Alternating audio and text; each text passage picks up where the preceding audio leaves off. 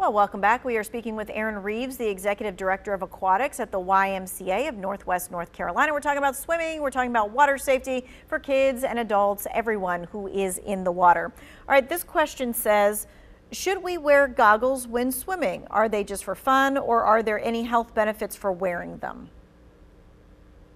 From a health benefit standpoint, I mean, uh, we're not supposed to be swimming with our contacts in, but it'd be a great way to be able to swim, have your, have your goggles on and, and, and wear those. But if it adds to a, a child's confidence and it adds to their enjoyment of being in the water, I say wear those goggles and have a good time and let them explore underneath the water and see what all's down there.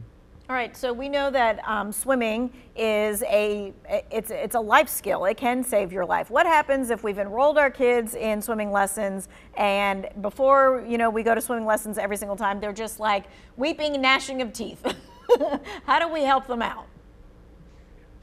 I think we just need to reassure them, um, let them know that it's going to be okay. Let them know that nothing's going, you know, that that you, you you love your child. You you're doing to, to constantly reassure them that it's going to be okay, that they're not going to be harmed by it.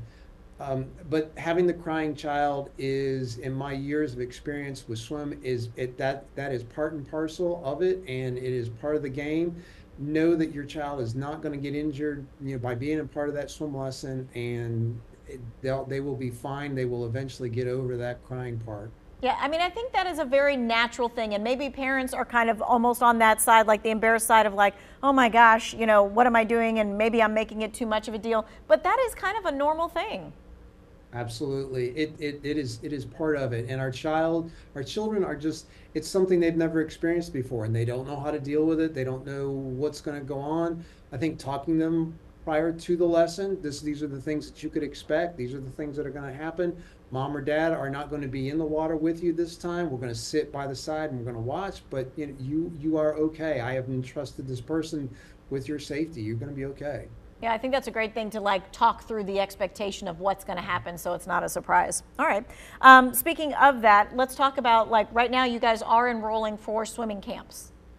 Yes, yes. Our lesson program is open. Um, and, and we will we have those all throughout the summer. Obviously, we, we offer swim lessons year round, both to the uh, the preschoolers uh, and and school age kids, along with the uh, adults. Um, so yes. Okay, someone's asking, can you swim after a hip replacement? Absolutely. It's the best thing to do. I had my hip replaced uh, about a year ago, and as soon as the doctor released me to get back in the water, that's what uh, that was the best thing for me was to get back in there to start that rehab and, and working on it. Obviously, you've got to work with your physician to understand what your limitations are. Um, there are some things that they may restrict you from, but getting back in that water, it, it, helps take weight off that joint and is a great way to get that range of motion back. So um, I am one that has done that. It's a great way to do it. Good to know. Okay. Someone's asking, how do you know when it's time to get out of the water when a storm is coming?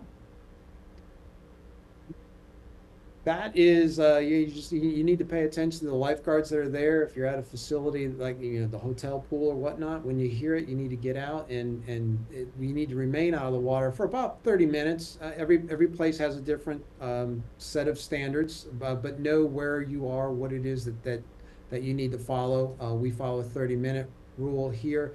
Um, some places it's 45, so you just need to pay attention to that. All right, and someone's asking, um, what about swim lessons that maybe have a scholarship or something like that if you um, can't necessarily afford the regular swimming classes? Absolutely. We, we work with all, everybody, wherever you're at. Um, we have a process that you go through to apply for a scholarship for, for any of the programming that we do. Um, so when they apply for that, they just need to uh, go through that process. All right, and just a real quick recap of what we need to do this summer as the pools are opening. What is the number one thing we need to do to keep ourselves and our families safe? In my opinion, we need to make sure we've got swim lessons. Uh, we need to make sure that we're watching um, each other, and we need to make sure that those that can't swim are protected with a, that that uh, life jacket. That's right, and that is the Coast Guard approved life jacket, not whatever you happen to pick up that that's really cute that looks like a certain kind of animal.